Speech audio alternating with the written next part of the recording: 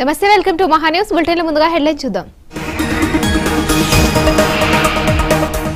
TRS కార్యాలయానికి భూమి కేటాయింపుపై పిటిషన్. కేసీఆర్కు high court notice.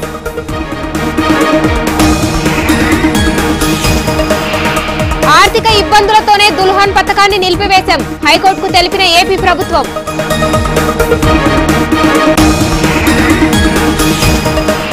Banjara Hills Rainbow ఆసుపత్రిలో దారుణం. చనిపోయిన కవలలకు అరవై లక్షల రూపాయల వసూలు.